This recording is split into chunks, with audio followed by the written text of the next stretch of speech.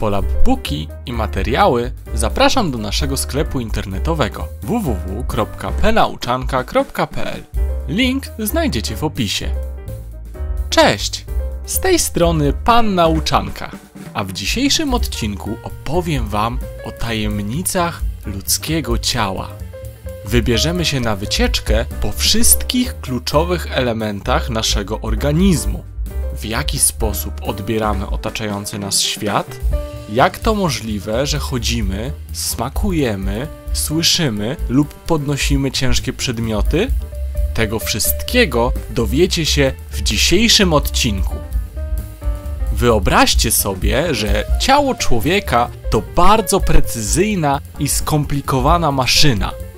Składa się ona z wielu części, które mają swoje indywidualne role i zadania. Części te tworzą układy, które pracują non-stop przez 24 godziny na dobę. Sprawia to, że żyjemy, myślimy, oddychamy, poruszamy się. Tymi częściami są poszczególne narządy naszego organizmu. Czy potraficie wymienić, jakie układy występują w ciele człowieka? Są to układ nerwowy, oddechowy, pokarmowy, układ krążenia czy układ mięśniowo-szkieletowy. To oczywiście nie wszystkie z naszych układów, lecz właśnie te pokrótce Wam dzisiaj opiszę. Układ nerwowy to wielki komputer, który kontroluje wszystko to, co dzieje się w naszym organizmie. Składa się on z mózgu, rdzenia kręgowego oraz wszystkich nerwów sięgających do najdalszych zakątków naszego ciała. Wszystkie informacje, jakie docierają do naszego organizmu z zewnątrz, są przekazywane przy pomocy nerwów, czyli takich specjalnych kabli w naszym ciele, do mózgu, gdzie są analizowane. Następnie mózg decyduje, jak nasz organizm powinien zareagować i wysyła informacje do naszych mięśni, oczu i innych narządów o tym, co mają zrobić. Można powiedzieć, że jest to wielka baza kontrolna naszego ciała. Musimy wziąć pod uwagę, że mózg analizuje bardzo dużo bodźców w każdej sekundzie, nawet wtedy, kiedy śpimy. Wszystko, co czujemy, czujemy właśnie dzięki układowi nerwowemu. A propos czucia, czy potraficie wymienić wszystkie zmysły, jakie ma człowiek? Dokładnie tak. Zmysł wzroku, smaku, węchu, słuchu i dotyku. Obraz z otoczenia odbierany jest przez nasze oczy. Dzięki temu widzimy. Nasz nos, dzięki specjalnym receptorom, wyłapuje wszystkie zapachy wokół nas. Kubki smakowe obecne na powierzchni języka odpowiedzialne są za odczuwanie smaku. W naszych uszach są obecne całe skomplikowane struktury, dzięki którym możemy słyszeć otaczające nas dźwięki, a dotyk odczuwamy właśnie dzięki zakończeniom nerwów na powierzchni naszej skóry. Oczywiście musimy pamiętać, że to właśnie w mózgu odbywa się proces odczuwania, a wymienione właśnie elementy tylko przekazują do niego niezbędne informacje. Jest to naprawdę niesamowicie skomplikowany i intrygujący układ. Wielu naukowców na całym świecie ciągle bada jego możliwości.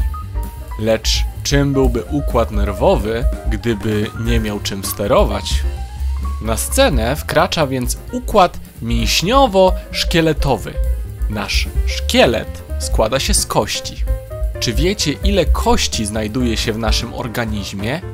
Jest ich aż 206 i razem tworzą szkielet. Mają one za zadanie utrzymać naszą postawę i ochraniać wrażliwe narządy wewnętrzne, takie jak na przykład mózg, który znajduje się wewnątrz czaszki, lub serce oraz płuca, które znajdują się w klatce piersiowej. Poszczególne kości różnią się od siebie budową oraz wielkością. Najmniejsza kość znajdująca się w uchu ma tylko kilka milimetrów, a największe, wytrzymałe kości udowe utrzymują prawie cały ciężar naszego ciała. Kości jednak tworzą tylko nieruchomy szkielet. Aby poruszać się, potrzebujemy tego, co je pokrywa, czyli mięśni. Dzięki impulsom przekazywanym z mózgu poprzez neurony, mięśnie kurczą się, poruszając układem szkieletowym. Przykładowo, chodzenie wymaga skoordynowania skurczów wielu mięśni w naszych nogach i nie tylko. Końcu, aby stać i utrzymać równowagę, też muszą napiąć się odpowiednie grupy mięśni, nawet jeśli tego nie zauważamy. Spróbujcie kiedyś położyć się w łóżku i całkowicie rozluźnić wszystkie mięśnie. Zobaczycie, że nie jest to takie proste zadanie. Mięśnie składają się z wielu skupisk specjalnych niteczek, czyli włókien mięśniowych, które razem budują mięsień i mogą się kurczyć. Nasze serce to również mięsień, jednak należy do innego układu układu krwionośnego, inaczej nazywanego układem krążenia. Pompuje ono krew do każdego zakamarka naszego organizmu. Dlaczego krew jest taka ważna? Zapytacie.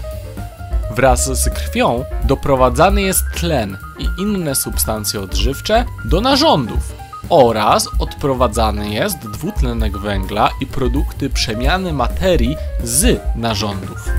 Serce bijąc wtłacza utlenowaną krew w skomplikowaną sieć naczyń krwionośnych.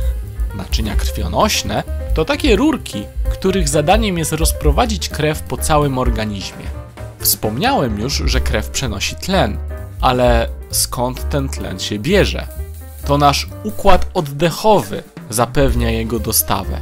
Podczas wdechu drogami oddechowymi powietrze dochodzi do płuc.